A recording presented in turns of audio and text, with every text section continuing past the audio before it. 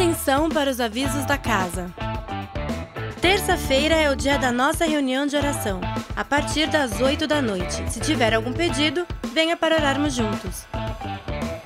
E na quarta, temos estudo bíblico também às 8 da noite, com a série baseada no livro Encontros com Jesus, de Tim Keller. Abordamos questões como: Qual é o meu propósito na vida? Que é uma vida correta? Consigo ajudar a endireitar o mundo? Atenção mulheres! Na quinta-feira, duas e meia da tarde, acontece a reunião das amigas da casa. No sábado à tarde é a vez dos adolescentes, em mais uma house party da galera.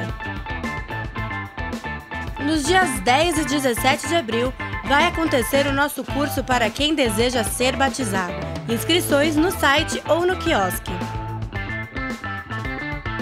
Temos disponíveis alguns convites para uma sessão especial da peça O Monge e o Executivo. Ela será seguida de um painel com Zé Bruno, para fazermos uma análise da história sob a ótica cristã.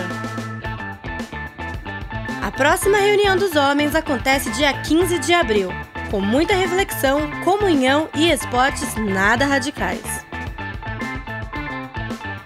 Em maio teremos mais um Acampa da Galera. Dessa vez, o encontro dos adolescentes será em São Roque. As inscrições podem ser pagas em até três vezes e feitas no quiosque. Em breve teremos um bazar da Casa da Rocha. Por isso, já começamos a recolher doações de móveis, roupas e utensílios. Se você tiver algo em bom estado deseja doar, traga para a igreja. Nosso irmão Renato se coloca à disposição para auxiliar na declaração do imposto de renda. Basta entrar em contato através do telefone 963462917. Leila é uma cristã síria que participou do programa de aconselhamento pós-trauma da Portas Abertas. Esta é a forma como ela vê o seu mundo.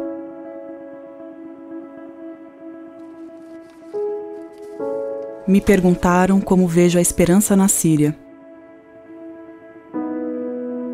Então eu perguntei aos meus amigos: O que você vê nesta foto?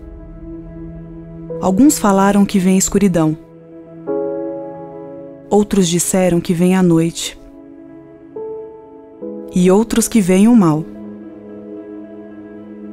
E há outros que falaram que eles não veem nada. Então eu pergunto a você: o que você vê nesta foto?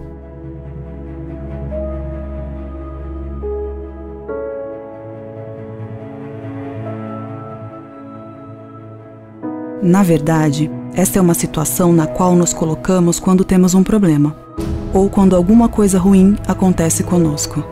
Nós nos colocamos nesta situação, nessa situação de escuridão. Quase nos esquecemos que, ainda na noite mais escura,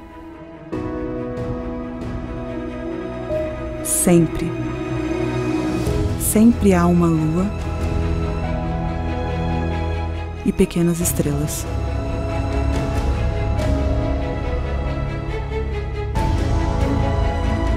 Eu sei que é pouco, mas mesmo assim, isso é uma fonte de luz, uma fonte de esperança e devemos segui-la. Não importa quão escura a noite seja, não importa quão grande seja o problema, sempre teremos uma fonte de luz e precisamos olhar para ela. E o mais importante, e que não podemos esquecer, é que depois de cada noite, mesmo sendo muito escura, sempre há uma manhã. Uma linda manhã.